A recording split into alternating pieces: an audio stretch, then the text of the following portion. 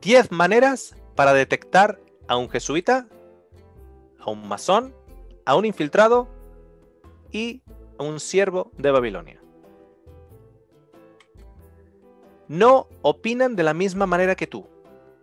Si encuentras a una persona que no, que no opina lo mismo que tú, empieza ya desde ese punto en adelante a sospechar de la gran posibilidad de que esa persona enfrente tuyo sea un jesuita, un masón, un infiltrado o un siervo de Babilonia.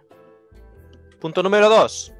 Hablan continuamente del amor de Dios, como un disco rayado, raca, raca, raca, raca, que Dios te ama, que el amor de Dios es suficiente, que Dios ama a todos, como un disco rayado.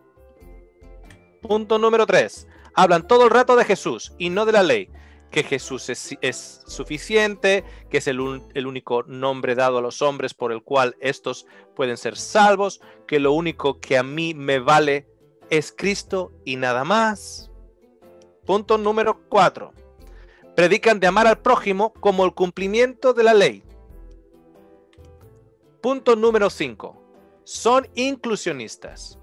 Amor para todos, perdón para todos, no excluyen a nadie. Punto número 6.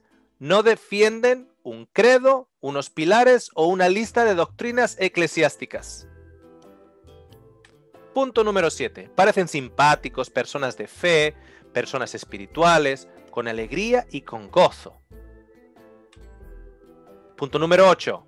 No se escandalizan al ver a mujeres predicar detrás de un púlpito.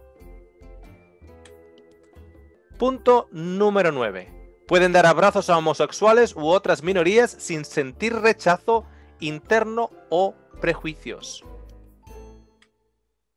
Y punto número 10. No entran en discusiones teológicas.